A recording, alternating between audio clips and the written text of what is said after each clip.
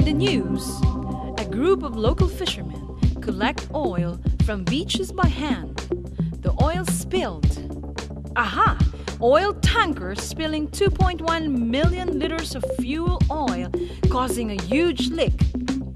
Who is accountable for damages to marine and coastal ecosystems and for their rehabilitation? This is an ecological time bomb that may cause long term and possibly permanent damage to the environment and livelihoods of people.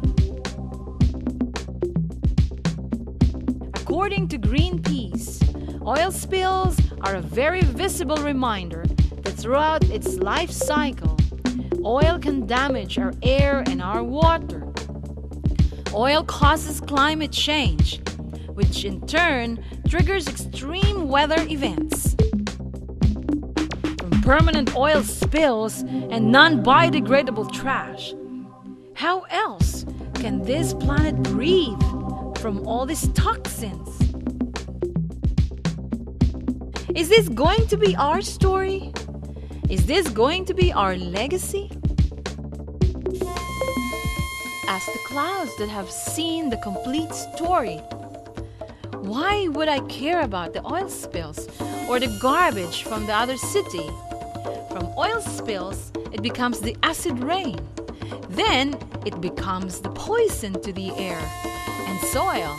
Then it seeps through the water table. Then I take a breath and drink it. Then it evaporates and become clouds again.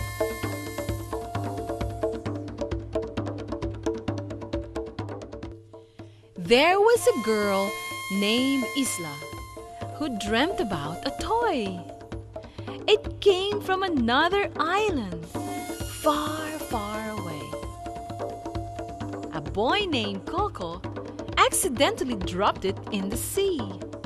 The toy traveled with the waves and the clouds.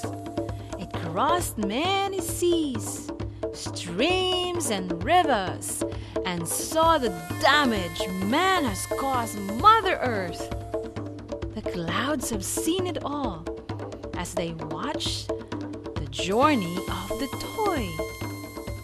One day, the toy became alive in Isla's dream.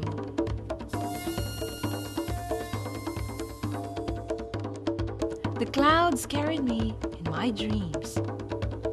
I have seen it, now I know why. I breathe the one and the same air. I drink one and the same water. I am part of the rivers. I am part of the clouds. The cloud is me. Now looking through the eyes of the clouds, this is what I see. If only we could all have eyes like the clouds. Then we could see all things, all the colors and landscapes, all the footsteps, and night moonlit bubbles, like crystals in the deep ocean, and diamond sunbeams on the surface upon sunrise. Every day is a new brushstroke of the hand of the great artist. The world is an enigma of indescribable beauty. But the once lush green forests and the playground of leatherback turtles, orcas, and blue whales is now a sad story. Only a little portion is left where mountains were green and oceans were blue. Even rain clouds have stopped crying, for riverbeds are dry. Forests are empty of trees.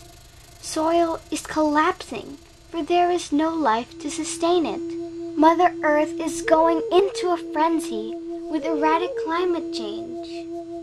Global warming, pollution, that poisons mankind with acid rain from harmful chemicals, aerial spraying of monocrop plantations, use of deadly pesticides and fertilizers that sip through the water table and contaminate everything and anything around it, including humans.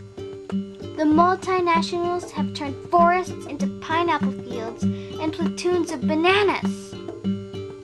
And when I passed over the islands nearby, I had only seen the worst scenario when sailors said that the Philippines had the most plastic floating in the sea. From the eyes of a cloud, no amount of tears from rain can wash away the poison there is in the ocean, which is the blood of the entire planet. The Philippines, being the epicenter of the marine biodiversity, according to the United Nations, has the highest number of coral and fish species there is in the world.